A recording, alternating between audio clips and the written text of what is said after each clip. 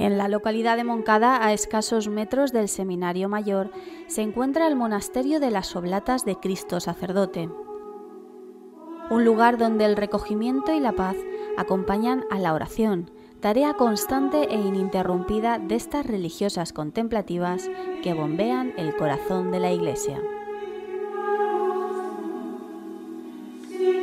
En su carisma no frecuentan las visitas, pero escucharlas hablar de su vocación es un privilegio para cualquier cristiano.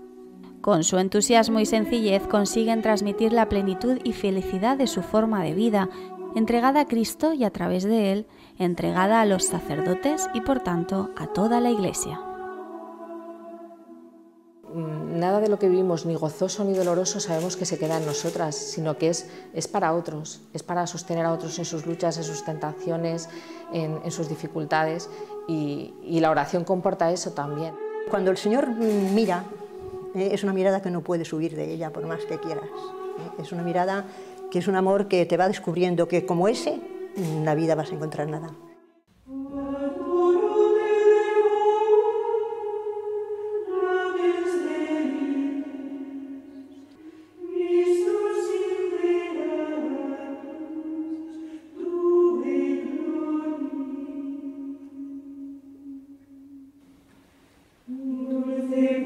La Congregación de las Hermanas Oblatas de Cristo Sacerdote fue fundada en 1938, en plena guerra civil, por el venerable José María García La Higuera y la hermana María del Carmen Hidalgo. El carisma surgió fruto del encuentro entre el que fue arzobispo de Valencia, entonces sacerdote, y la joven María del Carmen. Ambos compartían un deseo común, cuidar las vocaciones sacerdotales y rezar por todos los sacerdotes y seminaristas. Al finalizar la guerra ya existía una pequeña comunidad. Se reunieron en una casa en Getafe el 24 de mayo de 1939, donde vivieron austeramente y pasaron por muchas dificultades. Fueron cambiando de domicilio hasta llegar a la calle General Aranaz, en Madrid, actual casa madre de la congregación, donde está la sede del Gobierno General y la casa de noviciado.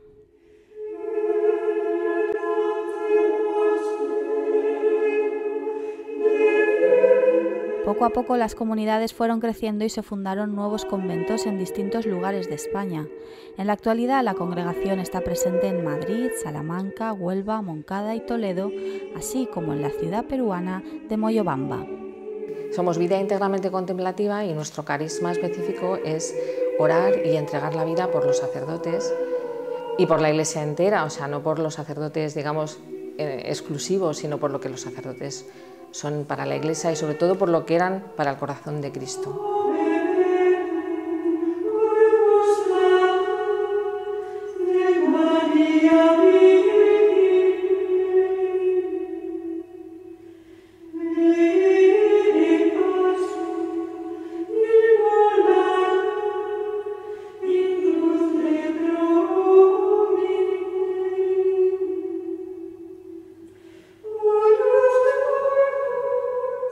Las oblatas de Moncada, fieles a su carisma, rezan continuamente por la santificación de los sacerdotes, una plegaria incesante en la que las 17 religiosas del monasterio de Moncada oran ante el sagrario en comunidad o por turnos individuales de día y de noche los 365 días del año. Siempre hay una hermana en oración, como si dijéramos, una hermana de guardia. ¿no?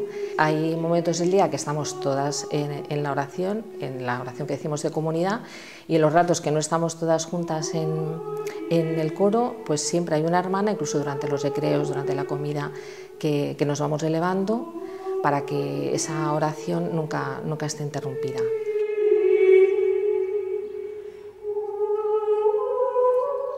Su entrega a Dios para la santificación de sus ministros cobra quizá más fuerza en el caso de Moncada, ya que de forma providencial su hogar se alza en las proximidades del seminario. Y entonces aquí tenemos la gracia inmensa además de tener el seminario cerca que, nos lo hace como más fácil ¿no? y que nos da un signo y un, estímulo muy cercano.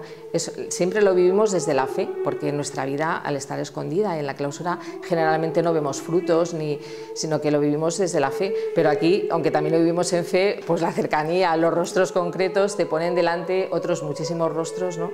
a los que nunca verás y es, es un aliciente. Y yo creo que para ellos también. ¿no? Nosotros nos hace muy vivo ese sentido de maternidad espiritual, ¿no? de estar mm, engendrando la vida. Y, yo creo que para ellos, ellos dicen siempre que el mirar la espadaña de, de, la, de la, iglesia, que por la noche se ilumina, ¿no? que a veces cuando están pues eso, pasándolo mal o tal, miran la espadaña, se acuerdan de que estamos rezando y eso les, les levanta otra vez el ánimo. ¿no? En su día a día también hay tiempo para los diferentes rezos de la liturgia de las horas y la celebración de la Eucaristía. Momentos de oración comunitaria a los que hay que unir la oración mental y la lectura espiritual. Pero también las labores de la casa y el trabajo en el taller de ornamentos religiosos donde cosen y arreglan prendas litúrgicas. La clausura es como, como el seno materno donde se gesta la vida de la iglesia. Toda la vida que luego aparece por fuera pues primero se ha tenido que gestar desde, desde las almas orantes. ¿no? Y, por ejemplo, el Papa Francisco, que ahora nos impulsa tanto una iglesia en salida y a ir a las periferias, claro, para ir a las periferias, la bomba, que es el corazón, ¿no? Mm, tiene que estar fuerte para que la sangre llegue hasta el último rincón. ¿no? Y esa bomba y ese corazón es la vida contemplativa. El monasterio recoge entre sus muros unas vidas sencillas, pero que esconden auténticos testimonios de vocación. En el fondo del alma siempre te encontrabas con un tope, que tú no podías llegar a donde tú querías.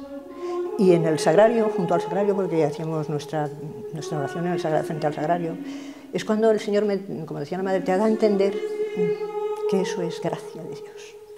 Hay que hacer y tenemos que hacer, y tenemos que hablar, y tenemos que, acercarnos a todo el mundo, pero no está en el hacer la gracia de Dios, sino en entregar tu vida. Jesucristo nos salvó entregando la vida, entregándola hasta el fondo, hasta la cruz. Pero me costó mucho, ¿eh? o sea, es una cosa que por mi temperamento, yo era un temperamento muy abierto, muy, muy alegre, muy... y yo, pues, pues lo que es el amor, el amor mm, mm, es que te lleva y te arrastra, aunque no quieras, arrastra una forma de vida basada en la sencillez y la austeridad, con una alegría que contagia a cualquier corazón sencillo que se acerque a ellas. Y sobre todo, una vida basada en el desprendimiento personal y la entrega íntegra a Dios.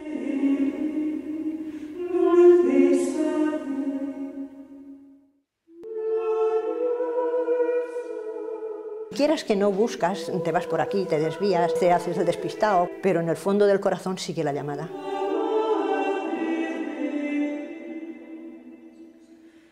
Jamás creo que ninguna de nosotras soñamos que la vida pudiera estar tan llena y, tan, tan feliz, ¿no? De, así como la gente lo ve detrás de una reja, que la gente dice que harán todo el día, pues estamos felices ¿no? y desbordantes.